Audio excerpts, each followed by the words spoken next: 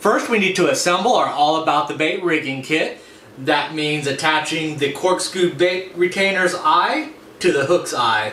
So the way we do that, grab the hook in one hand, you're going to hold the corkscrew in the other, and you're going to start with the spring size pointy side.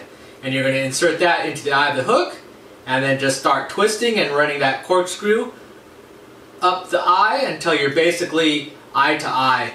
Once you get to this point, what I like to do is to use some needle nose pliers and basically use that to twist the last part and you're going to basically pop the eyes two together.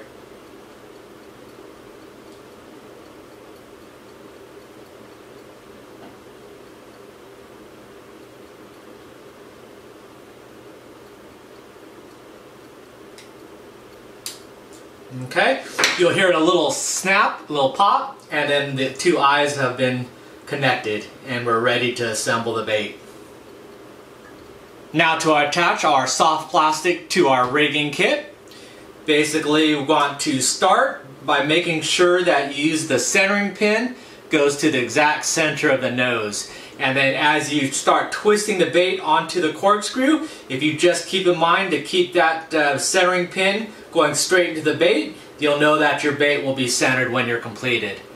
So I'm going to do is I'm just going to line up the uh, centering pin with the center of the nose of the bait, insert that, and then trying to keep the uh, alignment correct, I'm just going to start twisting the soft plastic bait. And just trying to keep that centering pin going as straight as possible.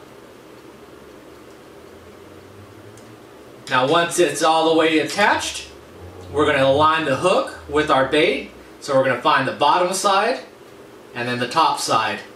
And we want to make sure that the hook is running freely in the correct side. And you'll do that by adjusting the corkscrew eye so it's perpendicular and that means it'll run straight up and down along the back of the, the bait there.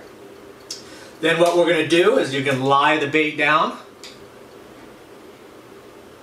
and this will give us the exit point where we want the hook to come out so that the bait will be centered. So I want the bait, the hook to come out right about there in the back.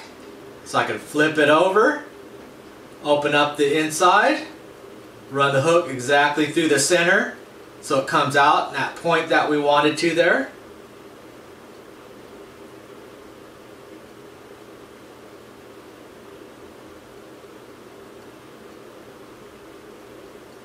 Once we do that, we'll bring the hook out.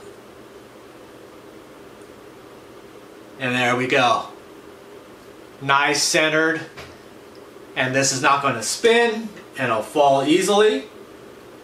And then if we want to make this weedless, so right now the point is slightly above the plastic, just grab the sides of the bait, push it forward a little bit, and then you're going to raise it up and insert the, the hook point into the plastic. And that's going to make it weedless. So anything that runs over it will run right over the hook, but yet that will just pop out if it actually fish bites it. And it'll still sit straight and run straight through the water. Then when the fish grabs it, that hook point will pop out and then it'll expose to uh, hook the fish.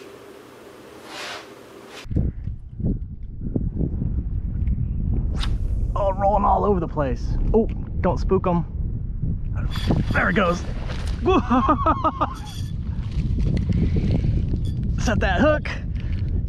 2x strong mustad, so don't be worried about pull straightening those hooks. Nice, nice, nice, nice.